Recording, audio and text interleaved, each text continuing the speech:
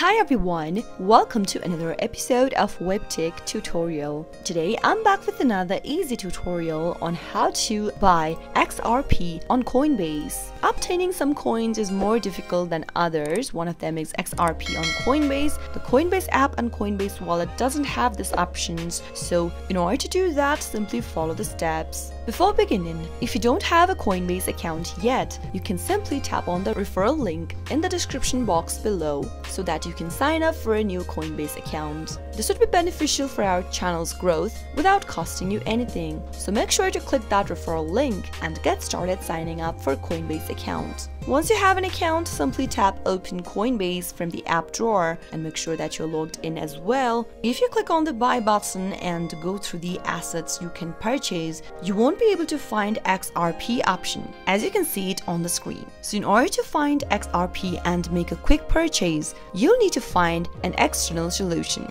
You'll need to go open up a web browser. Once you open up a web browser, go ahead and type in coinmarketcap.com and search. You'll be taken to this page right here, which looks like this. Now, simply tap on the search button in the upper right hand corner and then type in XRP into the search bar. You'll be able to see the asset displayed right beneath in the search result. Tap on XRP and it'll take you to this page. Now, from this page, scroll down and find this Market tab right next to Overview. In this page, you'll be able to see a complete list of places you can buy XRP from. Right under Pairs, you'll be able to see the shorthand for XRP plus a second currency displayed. The second currency is what you can use in order to purchase XRP. For example, if you want to buy XRP with a US dollar, look for the level XRP slash USD. Tap on one of your options and now on the next page, go ahead and tap on the buy button in order to make a purchase on your chosen platform. Make sure that you are tapped on the buy option.